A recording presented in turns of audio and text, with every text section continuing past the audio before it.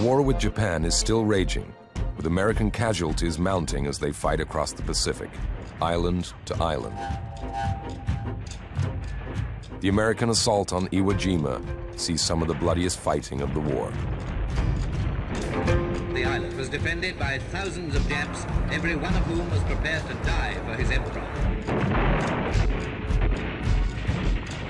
The Japanese defenders refuse any thought of surrender.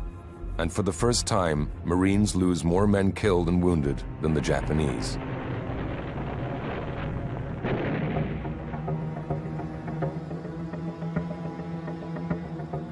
U.S. commanders now predict that an invasion of Japan could cost more than a million Allied casualties. President Truman decides that the atomic bomb should be dropped on a Japanese city as soon as it is ready.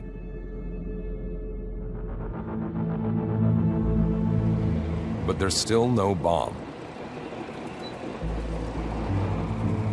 In the empty desert of New Mexico, at a site called Trinity, populated only by rattlesnakes and tarantulas, scientists and construction teams prepare for the first ever test of an atomic bomb. There were two versions of the bomb. There was the little boy and the fat man. Now, the little boy is actually the bomb that was dropped on Hiroshima, and the fat man is the bomb that was dropped on Nagasaki. Scientists are confident that the uranium-fueled Little Boy will work. But now they need to test the plutonium-fueled Fat Man. The reason for running the test on the Fat Man was that plutonium was a brand new element that had never been known before. But there is still barely enough plutonium in the world to fuel the first bomb. And even after two years of intensive work, no one is sure what might happen.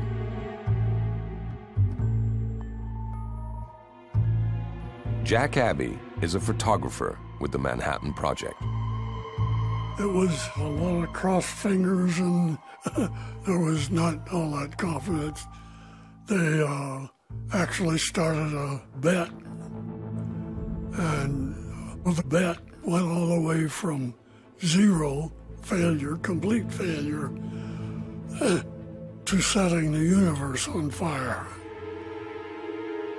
Just four days before the test, the plutonium core of the bomb, the size of an orange, arrives from the Los Alamos laboratories on the back seat of an Army sedan.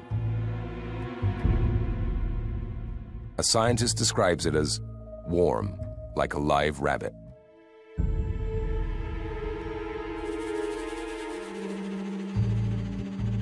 As the moment to detonate the bomb approaches, set for 4.30 a.m. on July 16, 1945, scientist Lily Hornig is watching for the explosion from a distant mountain top.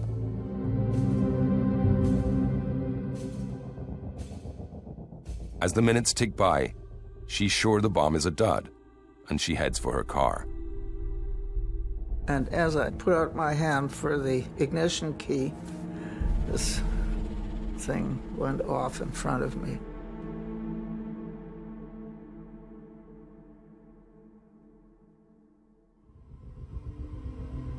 It was really an incredible sight. I don't know what any of us might have expected. The heavens were boiling.